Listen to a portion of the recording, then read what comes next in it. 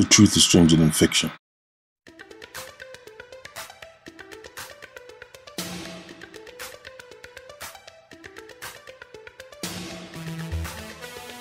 Nation is scoring at a time when they didn't draft black people that often in the The dirty little secret about Bob McCullough is this. When he got drafted, he went and he was supposed to play with Oscar. If Bob McCullough had got drafted and not went to play with Oscar Robertson, Bob McCullough would have been in every history book in the NBA. You couldn't have found five players back then in the NBA today. You couldn't have found five players that could have played as good as he did back then in the entire NBA. I mean, Oscar was Oscar, and I love Oscar to death.